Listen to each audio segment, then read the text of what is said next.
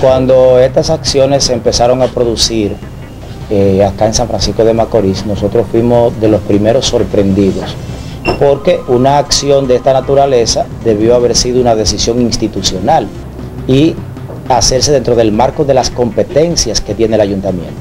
Nosotros hemos dicho que si los nacionales haitianos, y no solamente ellos, cualquier ciudadano,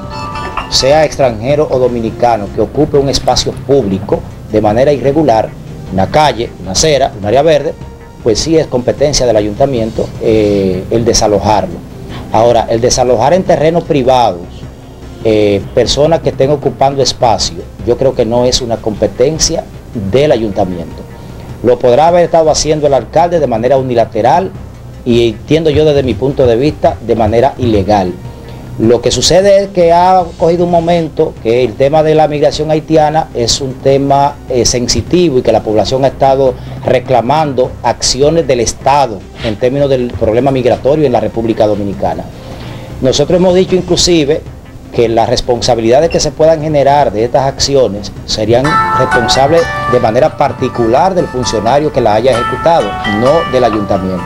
Imagínense ustedes que hubiese fallecido un niño de esos que estaban en esa casucha.